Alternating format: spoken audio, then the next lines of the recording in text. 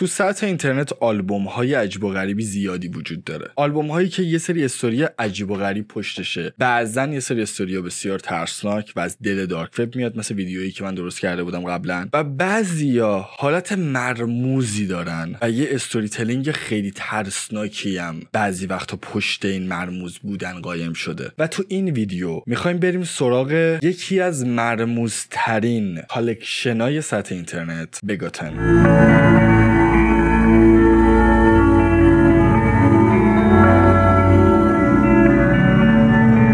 واسه اینکه بریم سراغ Begotten و هم آلبوم ها رو درست پیش بریم هم storyline ی که پشت آلبوم ها هست لازمه که با دو تا فرد آشنا شیم. یک آرتیستی به اسم Begotten حداقل با نام مستعار Begotten یه producer ناشناسی که به گفته خودش اهل آذربایجانه. و دوم دنیس صاحب label Geometric Lullaby. مثل Caretaker ما اینجاییم که راجب 6 تا آلبوم صحبت کنیم راجب یه مجموعه 6 آلبومه. به اون شکل طولانی نیست و لحاظ موسیقیایی اون concept آلبوم عجیب و غریبی نیست که راجع به زوال عقل باشه و سعی کنه خود آرتیست اون حس به تو برسونه. ولی با این حال آلبوم های خوبی و ما اینجا جلو رومون داریم و یکی جذاب ترین داستان اینترنت. واسه این کم استوری رو بتونم درست بگم هم راجع به آلبوم ها درست صحبت کنم دقیقا جوری می‌خوام content رو پیش ببرم و تو این ویدیو راجبش حرف بزنم جوری که خود دنیس دوست داره پیش بره. داستان از چه قراره؟ اینکه تو صفحه Bandcamp Geometric Lullaby 12 March 2018 اولین آلبوم از 6 آلبوم Begotten منتشر میشه. که توی description اون آلبوم دنیس داره معرفی می‌کنه آلبومو و میگه که چه جوری با این آلبوم آشنا شده. و دقیقا storyline ما به همین شکل قرار جلو بره. یکی یکی به صفحه Bandcamp قرار بریم و چیزی که دنیس تعریف می‌کنه رو راجبش صحبت کنیم و بازگو کنیم. جدا از همه اینا وقتی که برید توی Geometric Lullaby یه آرتیست ایرانی به اسم دل اونجا می‌بینید و یه آلبومی به اسم ستاره دار که توی توضیحاتش خیلی باحال نوشته که مشخصا انگار مثلا translate شده اون متن. اینجوریه که یک زن و شوهر ازدواج با یک تصمیم دشوار مواجه می‌شوند. برای بهبود زندگی فرزندان خود با رفتن به کشور دیگری یا اقامت در ایران و مراقبت از والدینی که از بیماری آلزایمر رنج می‌برند مراقبت می‌کنند. این توضیحی که راجع به این آلبوم نوشته شده و همین که مثلا ما داریم اینو می‌خونیم دوست داریم که بریم آلبوم رو گوش بدیم که ببینیم مثلا آلبوم دنبال چیه. حالا این یه آرتیست ایرانی بود که تو این label هست. و می‌خواستم اینجا یه هم یه shout out ی بهش بدم هم آشنا کنم شما رو که وقتی که میرید سراغ Bandcamp حتما حتما description آلبوم ها رو ببینید. داستان خیلی جالبی می‌تونید پیدا کنید توی Bandcamp. بریم توی 12 March 2018 و اولین آلبومی که دنیس توی Geometric Lullaby آپلود می‌کنه. Life Cycle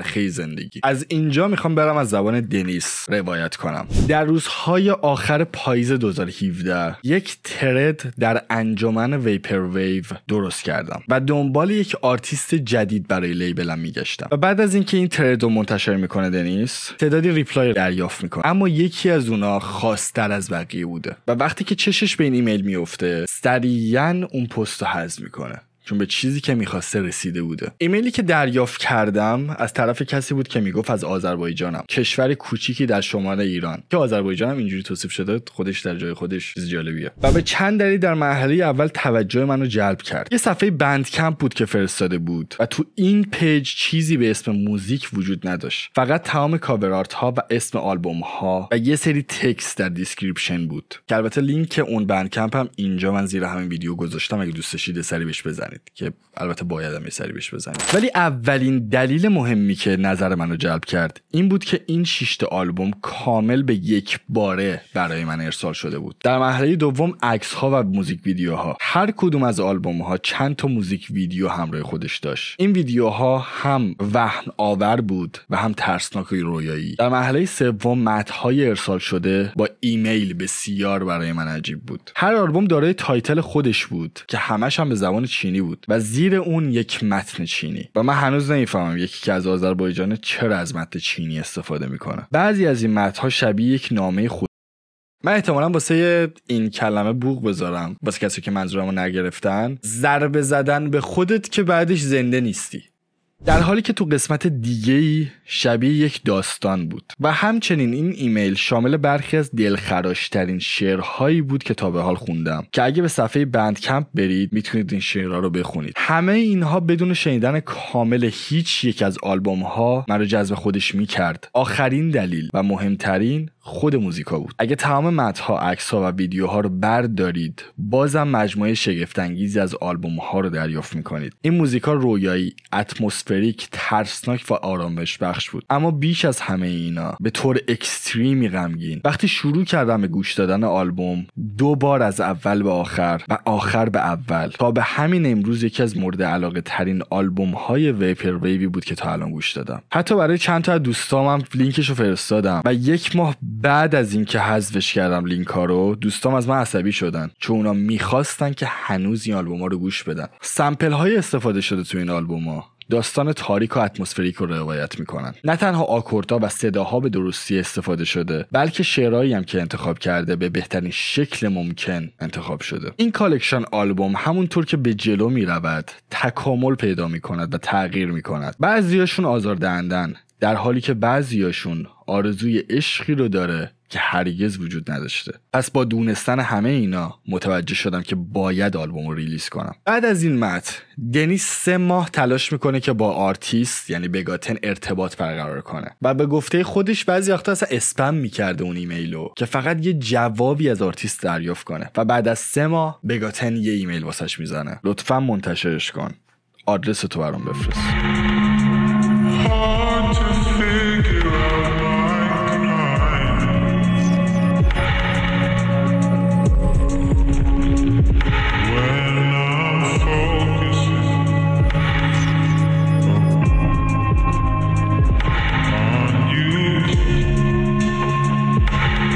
شک و تردید من در مورد location artist. زمانی کاهش یافت که یک بسته مرموز به صندوق پستی من رسید. که از کجا آمده بود؟ آذربایجان. جعبه سفید حاوی 25 تا J-card بود. که روی هر کدام عبارت مرگ نوشته شده بود. که اینجا برای دنیس سوالی پیش میاد. که واسه هر انسان سالمی توی این شرایط پیش میاد. آیا این آلبوم ها یه فراخوانه برای کمک؟ من فقط امیدوارم حال این فرد خوب باشه. شعری که خود آرتیست واسه آلبوم نوشته رو من اینجا نمی‌خوام بخونم.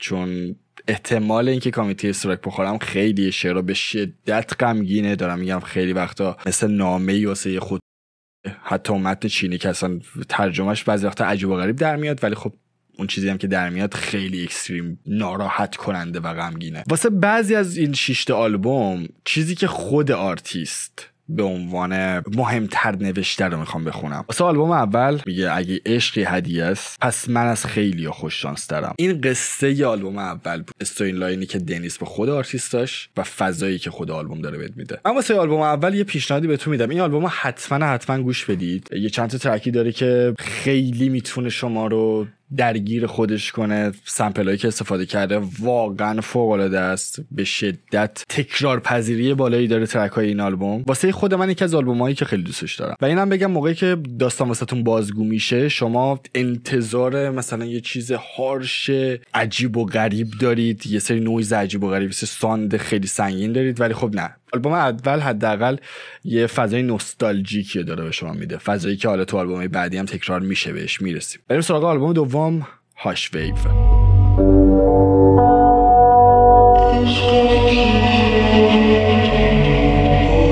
این نسخه مسیر متفاوتی نسبت به آلبوم اول به خودش می‌گیره که البته اول باعث ناراحتی میشه. به نظر می‌رسد که این نسخه از آواز زنان سمپل گرفته شده. آهنگام قلیزی از جو و عدم قطعیت رو تداعی می کند و عین cover art آلبوم بخار است. نقل قول معروف این آلبوم بگم. بعد آلبوم ببندیم بریم سراغ storyline کاش می توانستم در مورد هر چیزی غیر از مرگ آهنگ بنویسم. و مثل همیشه یه متن فوق العاده غمگین و یه متن چینی.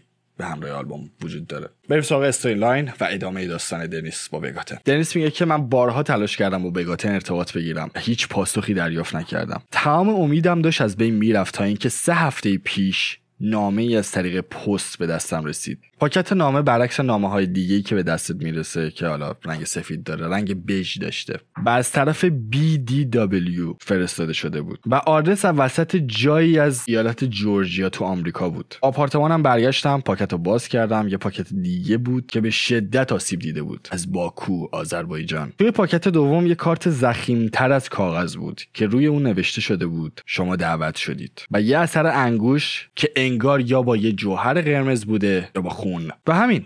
بدون هیچ detail دیگه ای که به کجا دعوت شدم یا چه ساعتی دعوت شدم. البته اینو بگم که یه آدرسی توی نامه بوده یعنی اینجوری نبوده که فقط بگه شما دعوت شدید. یه آدرسی بوده اینکه به کجا دعوت شدم یعنی اینکه مثلا مهمونی چیزیه یا یه خونه چیزیه هیچی. گوگل باز کردم آدرس اول رو سرچ کردم و اون موقع بود که ترسیدم. نامه از یه مؤسسه روانی دولتی در ایالات جورجیا فرستاده شده بود. ساختمان قدیمی و فرسوده ای که هنوز active ه. آیا من وسط یه فیلم ترسناکم؟ یا این فقط یه جور شوخیه؟ بعد آدرس دوم سرچ کردم و اصلا چیزی پیدا نشد. از طریق Google Earth آدرس دقیق رو پیدا کردم. یک قبرستان کوچک با چندین مقبره در مرکز جورجیا. و وقتی دقیقتر اثر انگشت رو بررسی کردم متوجه شدم که این جوهر نیست خونه. احتمالاتی که وجود داشت که من باش درگیر باشم و بررسی کردم. احتمال داشت که یک از همون اولی که سعی کرده با من شوخی کنه و منو سر کار بذاره. دو یه نفر بعد از دیدن آلبوم اول توی بندکپ سعی کرده منو سر کار بذاره و ادویه اضافه کنه به این داستان. سه بگاتن در اصل در همون بیمارستان روانی داره زندگی می‌کنه و از آذربایجان برای ردگم کنی استفاده کرده. و چهار بگاتن واقعا تو آذربایجانه.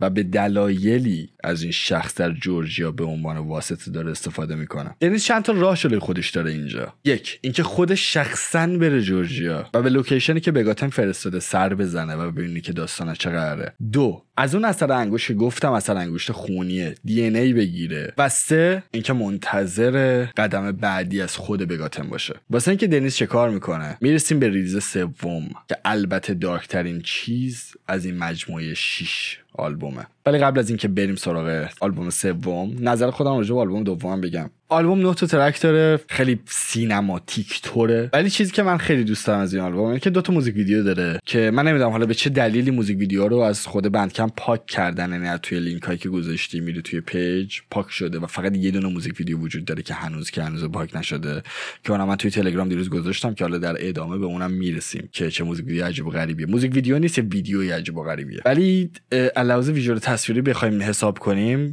favorite من واسه این آلبومه. و موزیک ویدیو Insomnia و Ghost موزیک ویدیو جالب و باحالین واسه یه آلبوم اولم اینو یادم فکرم موزیک ویدیوهایی که واسه آلبوم اولم وجود داشت چیزایی که من خودم دیدم موزیک ویدیو حساب نمیشن صرفا یه سری عکس اسکلتن با کیفیت فوق العاده کم که اسکلت متحرک یه عکس متحرکه گیفه یه همچین حالتی. خب بریم سراغ آلبوم سوم و مهمترین بخش داستان ما که سوالات زیادی حداقل واسه خود من وقتی که به اینجای داستان رسیدم واسم پیش اومد. آلبوم سوم Phantom Souls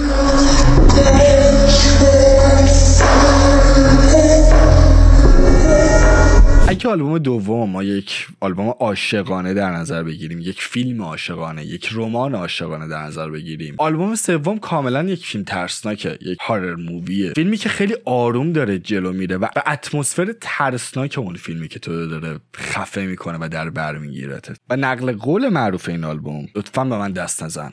دور باش. بریم سراغ داستان. داستان از زبان دنیس نمی‌خوام بگم تو این بخش و دوست خودم اساس تعریف کنم. ما توی آلبوم دوم متوجه شدیم که یه نامه ای میاد و خب دنیس توی ایالت شمالی اگه اشتباه نکنم زندگی می‌کرد. خیلی فاصله داره. اون location ی که حالا دنیس گفته بود که داره زندگی می‌کنه با جورجیا ایالت جورجیا خیلی فاصله داره. سر همین خودش نمی‌تونست بره. ولی خب خوش شانس بوده. سر اینکه یکی از دوستاش توی جورجیا داشته زندگی می‌کرده. دوستش داستان توضیح میده و دوستش میره به اون قبرستون. از طریق FaceTime با دنیس در ارتباط بوده تو اون قبرستون. و خب توی قبرستون به اون شکل اینترنت connection درست حسابی نداشته. و دوستش به دنیس میگه که هیچی تو قبرستون پیدا نمی‌کنه. هیچ یعنی پیدا نشده. و اینجوریه که اینجا یه قبرستون ساده است. و کسی که این نامه رو فرستاده مطمئنا داشته با شوخی می‌کرده. و مدام اینو تکرار می‌کرده. یه جوری می‌رفته تو مغز دنیس. و دنیس می‌خواسته یه چیزی از اون لوکیشن پیدا کنه. یه چیزی به دست بیاره. به دوستش میگه که بره سر تک تک مقبره و نشون دنیس بده. شاید یه رمزی از اسم کسایی که اونجا دفن شدن یا یه چیزی اونجا گذاشته باشه و خود دنیس چک کنه. دوستش همین کارو می‌کنه به تک تک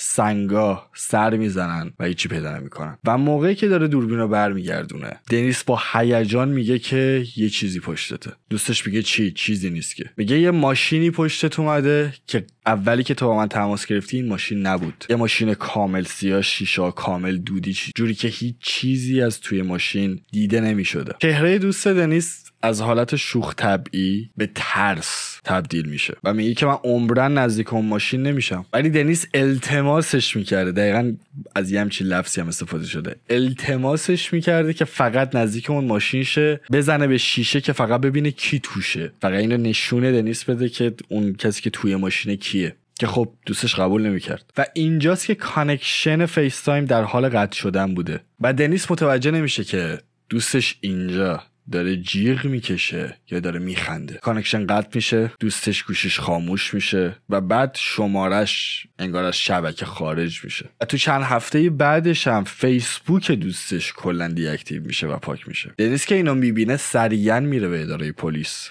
و کامل کامل واسه پلیس توضیح میده که چه اتفاقی افتاده. و بعد از دو سه روز دوستش زنگ می‌زنه. دوستش جوری رفتار می‌کنه که انگار هیچ اتفاقی نیفتاده. جوری که فقط انگار به اون لوکیشن رفته و هیچ خبری نبوده. دنیس راجع به اینکه چرا نبوده و چرا دیگه بهش زنگ نزده. چرا اصلا فیسبوکش رو پاک کرده ازش سوال می‌کنه. و میگه که من صرفا حوصله نداشتم. حوصله شبکه اجتماعی نداشتم. درگیر کارم بودم. سرم شلوغ بوده. سر همین چیز می‌ذارم پاک کردم. دنیس ازش می‌خواد که به اون تیمارستان روانی بره که خب دوستش قبول نمی‌کنه و میگه سرم شلوغه. و دیگه با دنیس ارتباطی نمی‌گیره. دنیس تنها چارش این بودی که آلبوم بعدی Begotten رو منتشر کنه. و باز منتظر این باشه که ایمیلش رو باز کنه و ببینه یه چیزی از طرف آرتیست فرستاده شده. یه ایمیلی بیاد که فقط بفهمه آرتیست همچنان حالش خوبه و سالمه. و آلبوم سوم منتشر می‌کنم. که این آلبوم هم مثل همیشه داره مت موزیک ویدیو و یه متنش چینیه. و می‌رسیم به یکی از خوش vibe ترین آلبوم های این شش آلبوم Happy Anniversary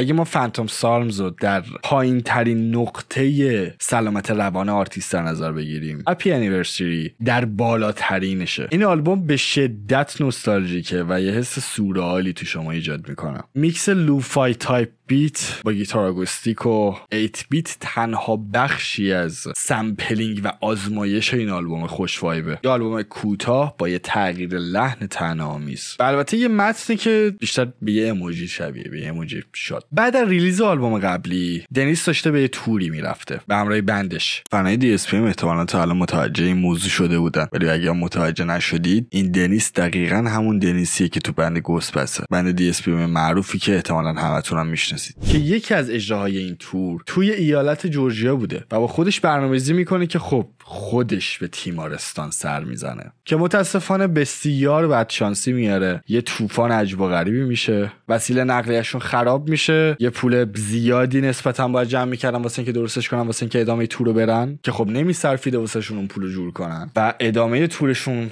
کنسل میشه. کل نقشای دنیز واسه دیدن اون تیمارستان نقش بر آب میشه. و دقیقا تو تایمی که دنیس امیدش از بین رفته بود یه ایمیل دیگه از Begotten دریافت می‌کنه. ایمیل کوتاه و ساده. Thank you. I'm still alive. I'm okay for now. و همین متن کوچیک دنیس رو شدیدن خوشحال می‌کنه دنیس چند هفته فکر می‌کنه که چی جوری جواب این ایمیل رو بده. کلی سوال واسش پیش اومده بوده که چی جوری جواب بده. و واسه اینکه ببینیم چی جواب میده باید بریم سراغ release آلبوم بعدی. Forgive and Forget.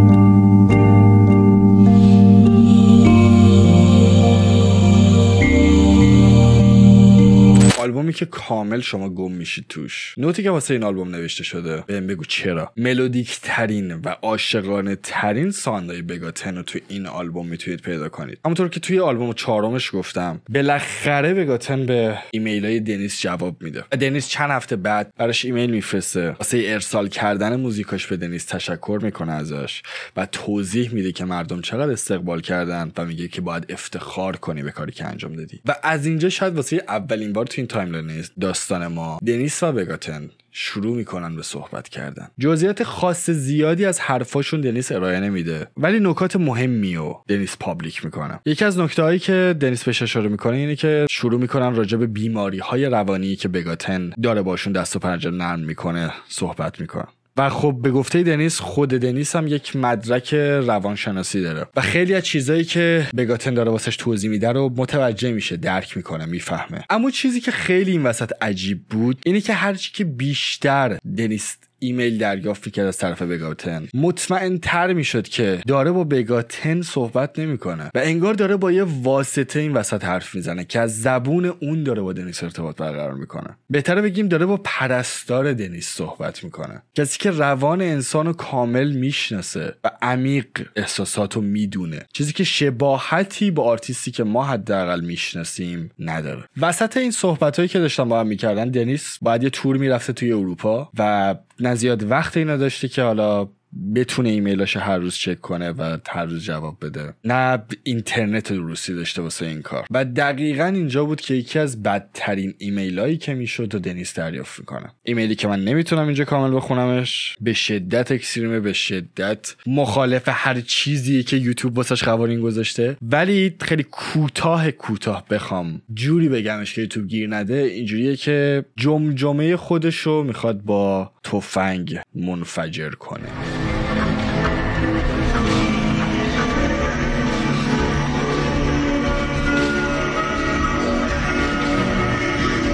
ایمیل هم تو صفحه Bandcamp هست. یعنی شما می‌تونید کامل ایمیل رو ببینید. ببینید که چی واسه دنیس فرستاده. البته یه ویدیویی واسه این آلبوم در نظر گرفته شده که تا الان حداقل هیچکی نیومده بگه که این از یک صحنه فیلم. خود دنیس هم میگه کلی سرچ کردم و هیچ چیزی پیدا نکردم. یه چیزی عین موزیک ویدیوه. و ویدیو خیلی عجیب و غریبه. خیلی مشخص نیست که دقیقا چیه؟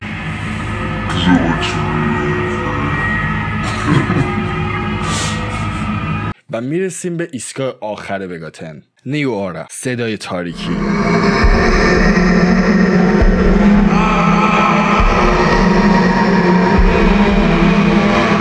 قطعات پایانی آلبوم و در آخر پایان داستان مرموزترین آلبوم اینترنت. وقتی آلبوم قبلی رو منتشر کردم یک ایمیل دیگری از بگاتن دریافت کردم که از من برای منتشر کردن آلبوم ها تشکر کرد. و در آخر دنیس سوالی که هممون منتظر بودیم که ازش بپرسه رو پرسید. اینکه بگاتن دقیقا چه کسیه یا چه کسانی هن. و در جواب بگاتن می نویسه که تو واقعا می‌خوای بدونی که کیم؟ دنیس می نویسه که اولش از این جواب عصبی شدم. اگه مطمئن نبودم که می‌خوام بدونم اینا کیان چرا اصلا پرسیدم؟ ولی وقتی که می‌خواستم جواب بدم جلوی خودم رو گرفتم. آیا واقعا می‌خوام بدونم که کیان؟ آیا بعد از دونستن این که کیان چیزی عوض میشه؟ چند روز طول کشید تا به این موضوع فکر کردم. می‌دونستم که نباید اجاره کنم. این کسی بوده که به من اعتماد کرده.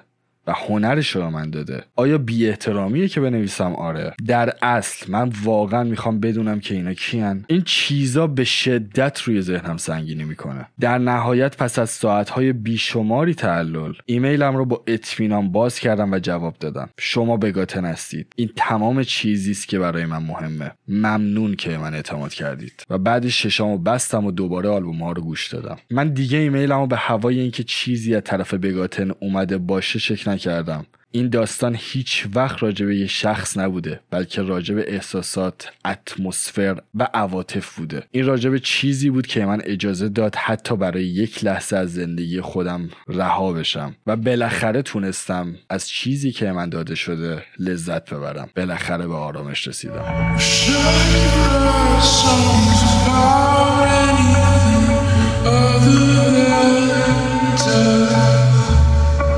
داستان کامل مرموزترین آلبوم سطح اینترنت حداقل یکی از مرموزترین آلبوم های سطح اینترنت. آلبوم تو کامیتی انگلیسی توی سه سال پیش حداقل ترکونده بود راجبش بیشتر و بیشتر صحبت می‌شد. امسالم بازم به یه حدی از ترند برگشت و دوباره راجبش داشت بیشتر صحبت می‌شد و همینجا بود که من چشم به این آلبوم خورد و گفتم که راجبش اینجا صحبت کنیم. ما وظیفه ای نداریم که هر چی که دنیس گفته باشه رو باور کنیم ولی مدارکی که دنیس رو می‌کرد و چیزایی که راجبش صحبت می‌کرد به اون شکل خارج از باور نیست. بجز اون بخش قبرستون و اون بخش دوستش یکم عجب غریب بود واقعیت یعنی بیشتر واسه جذاب کردن داستان همون شد. ای که می‌خواست به داستان اضافه شه به نظر من اون بخش اضافه شده. ولی به هر حال داستان واسه خود من خیلی داستان جذابی بود. یکی از جذابترین چیزایی بود که تو سطح اینترنت حداقل خود من باش مواجه شدم. و اگه اطلاعات دیگه ای هم دوست دارید به این ویدیو اضافه کنید توی بخش کامنت ها بنویسید. من کامنت ها رو پین می‌کنم. کامنت هایی که اگه چیزی رو من اینجا توی ویدیو از دست داده بودم یا به شیر نکرده باشم خوشحال میشم که توی کامنت ها بنویسید و راجبش صحبت کنید. و همین بیشتر طولانیش نکنیم و تا ویدیوی بعدی موسیقی خوب گوش بدید.